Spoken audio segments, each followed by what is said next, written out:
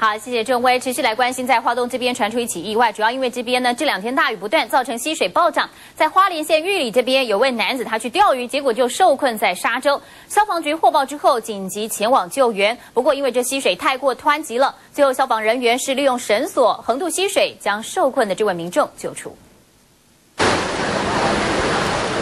手叉着腰、穿着黄色雨鞋的这名男子被困在河水湍急的沙洲之中，进退不得，只能站在原地等待救援。救难人员穿着救生衣徒步过河，想要利用绳索搭起简易的救生设施。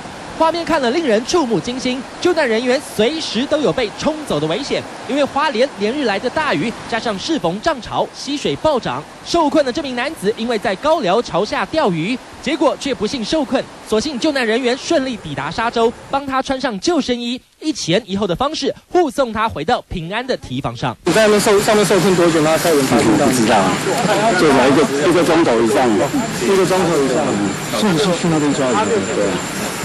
最后还好有惊无险，警方也特别呼吁，最近梅雨季节雨势不断，民众最好不要进入山区跟溪床，以免发生危险。